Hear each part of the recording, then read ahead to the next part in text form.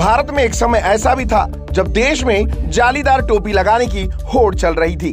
देश के हर पार्टी का हर बड़ा नेता जालीदार टोपी लगाकर तुष्टिकरण की राजनीति करने में लगा पड़ा था। ये कहना गलत नहीं होगा कि उस दौर का सच आज द कश्मीर फाइल्स के रूप में बाहर आ रहा है। लोग कहते हैं कि 2014 में भारतीय जनता पार्टी की सरकार बनी या यूँ कहिए कि मोदी नेतृत्व की सरकार आने के बाद अब पार्टियों के नेता खुद को बड़ा हिंदू साबित करने में लगे हुए हैं क्योंकि बीजेपी, राम मंदिर, धारा 370 और आर्टिकल 35 और काशी विश्वनाथ कॉरिडोर के माध्यम से हिंदुओं के दिलों में बस गई है। अगर इस पहलू को महाराष्ट्र के परिप्रेक्ष्य में देख बात करें तो इन दिनों महाविकास अघाड़ी के सहयोगी दल शिवसेना इसी मुद्दे पर काफ़ी मुश्किलों का सामना कर रही है। एक और जहाँ पूरा देश कांग्रेस को समर्थन करने वाली शिवसेना की आलोचना कर रही है तो दूसरी ओर शिवसेना इस मुद्दे पर सफ़ाई देती नज़र आ रही है। इस मुद्दे को लेकर शिवसेना प्रवक्ता संजय राउत और मुख्यमंत्री उद्धव ठाकरे सहित उनके कई बड़े नेता और पदाधिकारी बोल चुके हैं। इन दिनों राजनीतिक समीकरण बदलता जा रहा है। उत्तर प्रदेश की जीत के बाद ए आई एम आई एम पर भारतीय जनता पार्टी का स्लीपर सेल होने का आरोप लग रहा है, जिसको लेकर ए आई एम आई एम नेता की तरफ़ से शिवसेना या फिर कह लीजिए महाविकास अघाड़ी गठबंधन को ज्वाइन करने का प्रस्ताव भी दिया गया। देखिए, ये बार बार जो जो राजनीतिक पार्टियाँ अपने आप को सेक्युलर कहती है और कहीं पर भी कोई भारतीय जनता पार्टी जीत कर आती है तो उसका ठिकड़ा जो है वो हमारे ऊपर फोड़ा जाता है।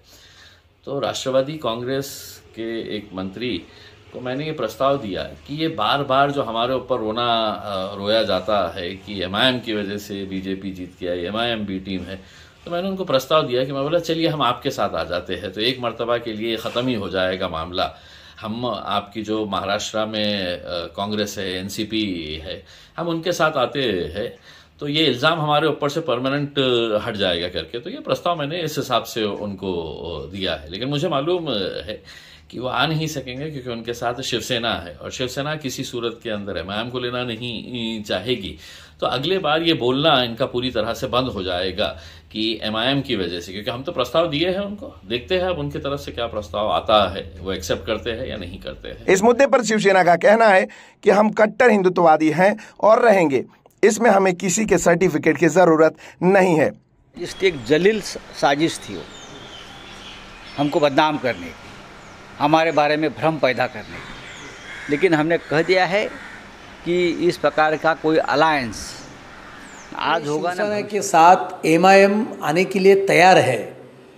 ये प्रस्ताव से शिवसेना का कैरेक्टर क्या है ये पूरी तरह से ज़ाहिर होता है और अभी शिवसेना ये हरी सेना बन गई है ऐसा मेरा कहना है।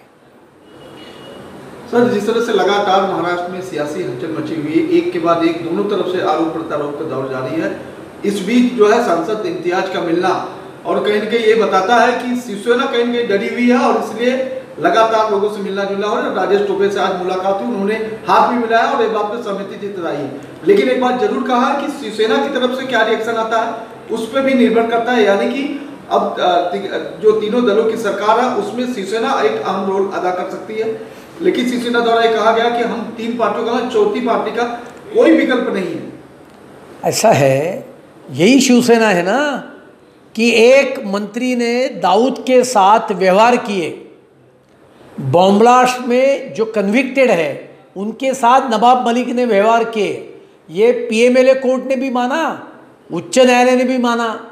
इसके बावजूद देश के क्रमांक एक का दुश्मन दाऊद के साथ व्यवहार करने के लिए नवाब मलिक का समर्थन शिवसेना कर रही है। उनके घर पे जाकर, उनके घर वालों का सांत्वन किया जाता है और वो भी शिवसेना के तरफ़ से।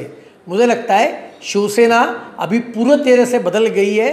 ये उद्धव बाला साहेब ठाकरे जी की नई शिवसेना है और शिवसेना अभी भगवी सेना रही नहीं है।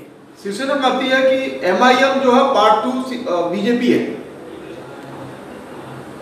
यदि भारतीय जनता पार्टी कुछ कर रही है तो मैं संजय राउत जी को इतना ही कहूँगा, राज्य में आपके मुख्यमंत्री है तो औरंगाबाद का संभाजीनगर नामांतर कर डालो। इतना ही मैं कहना चाहता हूँ, यदि वो करेंगे तो उनका ये जो कहना है कि हम एम के साथ नहीं जाने वाले इसके ऊपर लोगों का विश्वास बैठेगा। सच छुपाया गया है। बहुत सच है। जो उसमें आना चाहिए था। देखिए, कश्मीर की राजनीति 50 साल से चल रही है। कश्मीर फ़ाइल जो सिनेमा आया है ठीक है। ऐसे बहुत से फिल्म्स आती है, जाती है।